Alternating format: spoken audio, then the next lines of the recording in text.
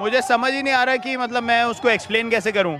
मैं यही सोच रहा था कि दो छक्के चाहिए, लेकिन वो एक इंस्टिंक्टिव शॉट था। मैंने कहा, सिर्फ़ बॉल को देखो, ज़्यादा हिलने की ज़रूरत नहीं है। और वो कनेक्शन होना बहुत रेयरली आई थिंक मेरे करियर में दो या तीन बार ही ऐसा कनेक्शन हुआ है मेरे बैट से ऐसे शॉट के लिए। और उस टाइम पे बहुत ज़रूरी शॉट था वो तो वहाँ से मुझे लगा कि वो थोड़ा पैनिक कर गए।